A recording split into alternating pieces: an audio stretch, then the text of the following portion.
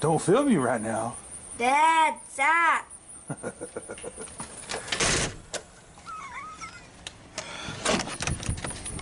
Come on, let's go check the mailbox. Ha ha ha, I slammed the door. I want to There they are. Unibits. Grab them.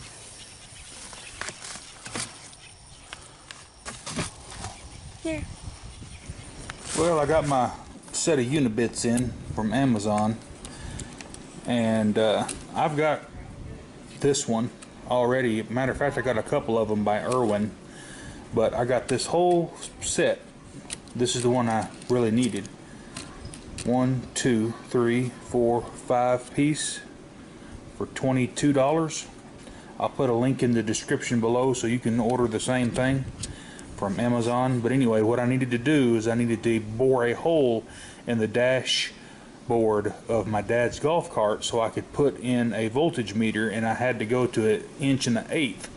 And so I was tooling around on Amazon and I just Googled in there Unibit and this whole set come up and uh, the reviews on it were good so we're gonna give it a whirl. I'm gonna install this voltmeter in my dad's old golf cart and a unibit is the perfect task for that.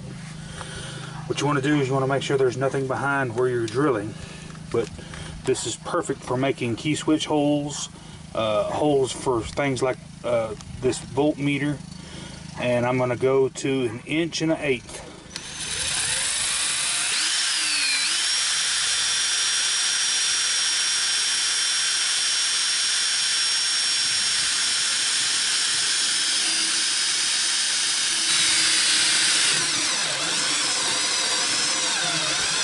my drill's about to die. You just go ahead and push it in.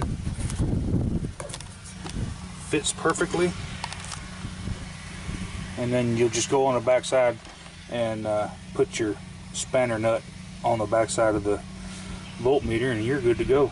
If you have any questions, let me know. Mower Medic 1.